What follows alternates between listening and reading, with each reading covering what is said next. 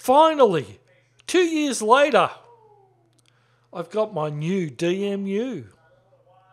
Thanks for joining me. I'm Greg, and you're tuned to Midsomer Railway N-Scale channel. Thanks to the subscribers, and I hope you like this short video. It is short, the rest will come later. Enjoy.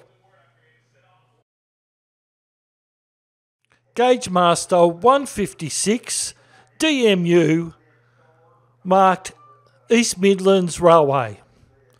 Unboxing. It has been two years since I ordered this. Today it's arrived. And here is the first sample.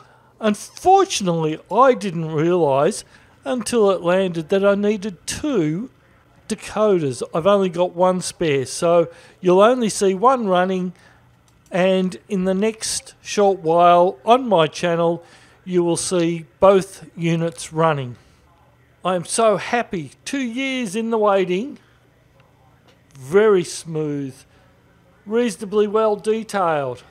I have a decoder and internal lighting on order and hopefully here soon. Thanks for watching.